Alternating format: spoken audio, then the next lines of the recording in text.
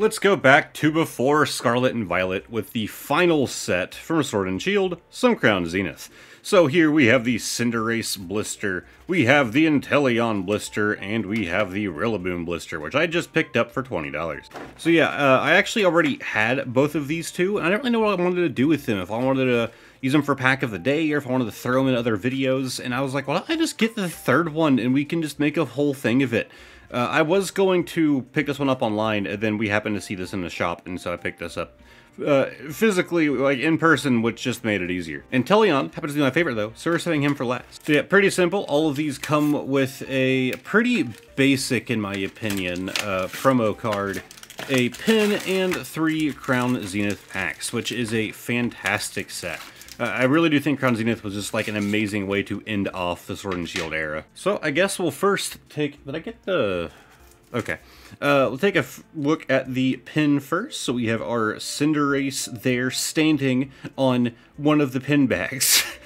but yeah, uh, very, very tiny pin here. And you can kind of tell like thumb comparison.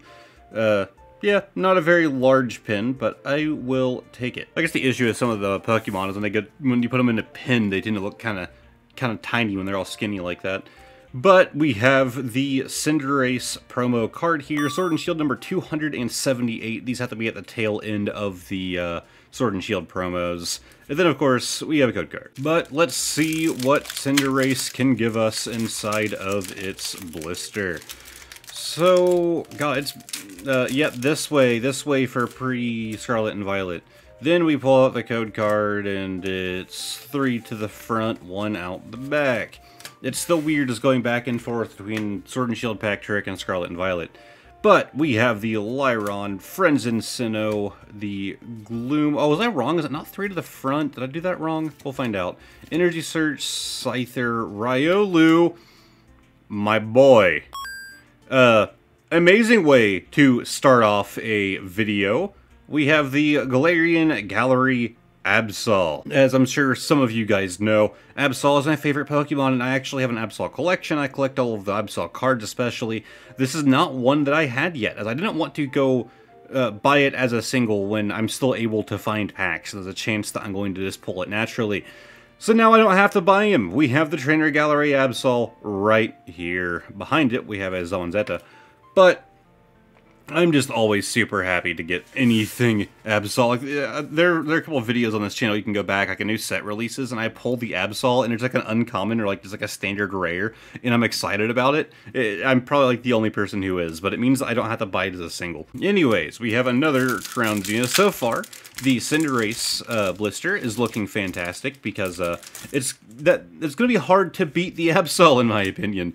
Of course, there are a lot of great cards in this set that we could pull, but that that's kind of like the the grail for me pulling that one. So gonna be hard to beat that. I think Cinderace might have already won out this video to start it off. We have the Aron, the Corphish, Energy Search. We have the Ditto, uh, which of course you don't actually have to peel this one like you do in Pokemon Go, and a Simisear V-Star.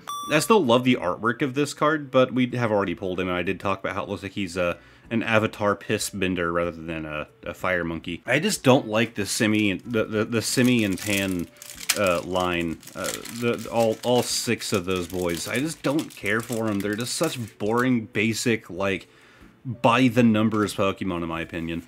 But we do three to the front, one out the back, and we have the electric. Lost Vacuum and Great Balls, all the uncommons, going on to the love disc, Emolga, Yanma, Kricketot, and Turtwig Galarian Gallery. Another one that I do not have. We got a hit in all three, all three packs with the Cinderace. I probably should have saved this one for last, but we have the beautiful Galarian Gallery here. Um, I do tend to like some of these more like negative space, like not very complicated cards. And I kind of like the, you know, the lifelikeness of our actual Turtwig there. I feel like that greatly helps with my opinion of this card. It looks very lifelike. But behind that, we have a hop. Alright, so I guess next up we are doing the Rillaboom that I just bought. I'm pretty sure these blisters are supposed to be like 15. Maybe they are supposed to be 20. I just feel like I overpaid for it, but I don't know. I feel like 20 is usually reserved for like tins and stuff. Of course, prices have gone up now with Scarlet and Violet, but before Scarlet and Violet that, you know, prices. So let's go ahead and start off here with the pin. Of course, this guy looks a bit better in my opinion because it's not, you know, just, just the larger Pokemon do better when converting to pins unless they give like the smaller guy like a backing, which we've seen before. Like you have like more of a background behind him, which kind of helps with like size issues. It just feels like I don't know weird just being that thin, tiny. If you were to like put it on something like a bag, but uh, the bigger ones, in my opinion, just convert to pin form a lot better. So we have our Rillaboom here. Then, of course, we have the Permo Rillaboom, number 277. Uh, yep, that, that is certainly a card. And we have the code card. So let's start doing packs. Maybe Rillaboom can bring us the same amount of good luck. I mean, we got three pulls. We were three for three in the uh, Cinderace blister. Maybe we'll get four out of this, you know? Mean, it's possible because you have two slots to pull from. You have the reverse slot and the holo slot. So there's a chance that one of these could dethrone the Cinderace one and get us four pulls instead of three. But it's super unlikely. we have the Whale... Arceus V-Star! Golden! Galarian Gallery 70 of 70. I think value-wise, Rillaboom might be the one that wins out. uh, we have actually pulled this card before, uh, but to my knowledge, it's one of the highest in the set. I don't think it is the highest, right? Or is it?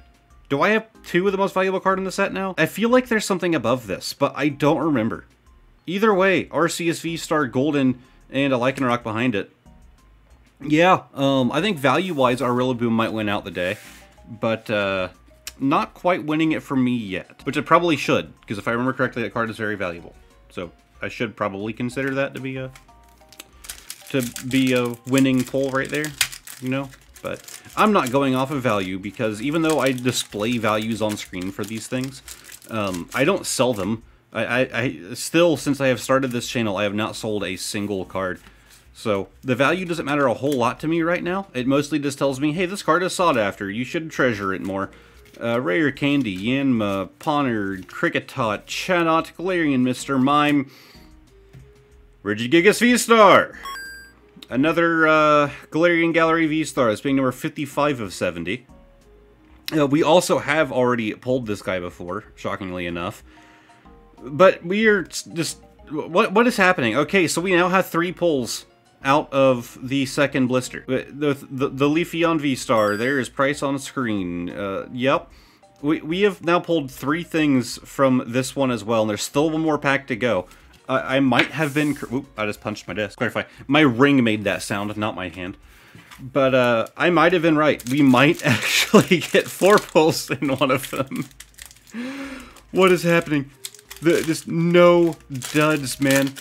Alright, so do it do the thing. You pull out, then you three, then one, and then you you crushing hammer and Dusclops. I still like that artwork. Trekking shoes, Kricketot, Aron, Riolu, Starly, Scyther, Entei, and, oh, oh, we got three pulls. I had to say something. Oh, we got our first dud. Six packs in, though. All right, let's see if my Inteleon boy can keep up. We can Let's see if he can actually get us, you know, the same level of three pulls in a single triple pack blister. It's just wild to go three for three, man. Like, getting 100% odds on anything is nice. Granted, you know, this is just three packs. It's not like doing an ETB and getting like eight or nine, you know, pulls, you know, one for every pack, depending on what set you're referring to. Like, not quite that same level of insanity, which I don't think I've ever achieved. I'm sure it's been done. Um, you know, basically like a god a god pack, but for a uh, an ETB. Anyways, we have our thin little Inteleon pin here. Uh, yeah, same issue. I just don't really care for the super thin ones. I'm sure people think I'm nitpicking because I am, because I really don't care that much, but it's just something about these thin boys. This doesn't look as nice as, you know, a big boy. So there is the promo, number 279, being our little water sniper lizard. And we have the code card. All right, let's see. Let's see if we go just straight out 3, 3, and 3 or maybe even better, there's the code card. We do through to the front, take out the thingy V-Star token, and we have the Trekking Shoes Metang, Digging Duo, Galarian Meowth, Energy Retrieval, Shinx, Larvesta, there's something back there, Aron. We have the Altaria. I actually am fairly certain I have the Swablu, because didn't they do both of them as Galarian Gallery? I swear I've seen something that was like this bedroom. Um, I don't care for it. I don't think this is a good card. Like, just being straight up. Uh, this is one of those, like, real life, like, we knitted this thing. You know, like, this Pokemon was, like, actually made and a photo was taken of it. But it looks like the whole background wasn't. And they just really poorly took that, took a photo of it, then turned it into a PNG and just threw it over the, the bedroom background. That is so boring. And like it stands out so much because they didn't put any of the holofoil on it. That's not true. It's uh, irises light up. That is so boring. That is just a lame Galarian Gallery. Okay, moving on, we have Zamazenta. Okay, yeah, then I, I didn't know that card existed. I, I don't tend to, like, memorize these sets. You have people that can not only know, like, like look at a card and immediately know what set it's from, but they can also give you, like, a, a, a decently accurate price for that card just from looking at it. I'm nowhere near that level. Uh, I still get surprised by cards from old sets because, you know, I don't have them memorized and I don't, like, spend hours looking at images of cards in the set. Okay. Origin Form Palkia V-Star. We have gotten our third Galarian Gallery V-Star from this. No, four? Yeah, no, three. Yeah, because it was Regigigas, Arceus, and now Palkia. Um, this is not one that I had, unlike the other two. And I do not have the Dialga, and now I kind of want to get it, even though I don't care for the new Origin forms. It's hard to still call them new. Um, still a very nice looking card. I think they only did the three golden ones, right? It was just Arceus and these two, or did Regigigas get a gold as well? I don't think Regigigas got a gold. I think this there's only these three. Either way, very nice looking card. Very happy to have gotten it. We got a double behind it. So, oh god, uh, my card pile just fell. so as long as we get one thing from this, we're good. Which normally sounds like a, yeah, it's a pretty low shot, but no, based on today's numbers, we're good. We got we got three pulls. We, we, we got it, right? Uh, maybe I should go in with this pure confidence that we've got this. We have the Solrock, the Rare Candy, and the Luxio. Going on to the Tangela, the Baltoy, Galarian Meowth, Energy Retrieval, Shinx, Yanma, and... Come on. We go three for three with the two Pokemon that I'm like, yeah, these are fine. And then we get my favorite one and we only pull two, and one of them is just a stupid card. Either way, getting eight pulls in nine packs is just wild. So now it's time for the bonus card of the day. These are cards that most of the time I buy them as singles specifically to go in this segment. There are some special things in, in here, including cards that we pulled off camera.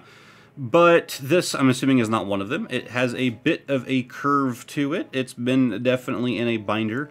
Uh, a little bit of whitening in the corner, but not much. Good looking card. I'm guessing that's going to be a bit older. We have the Delta Species uh, stamped Dragon Frontiers Chikorita. Um, this is from back in 2006. Um, I love Delta Species of my favorite like card typing, like uh, card archetype, I think is the right word. Um, and I, of course, collect stamped cards. That is like my primary thing as a Pokemon collector. Uh, so getting Delta Species and stamped just just makes me happy. That is just like the the, the premium combo. I've actually purchased a couple of these now. I might have all of the Dragon Frontiers ones now. I at least hope I do. If I don't, I should look into what I don't have. But yeah, just a basic little 2006 boy here, but I just love these stamped things. God knows what the value is worth, you guys will have seen it on screen, but I assume it's a bit higher with it being that old.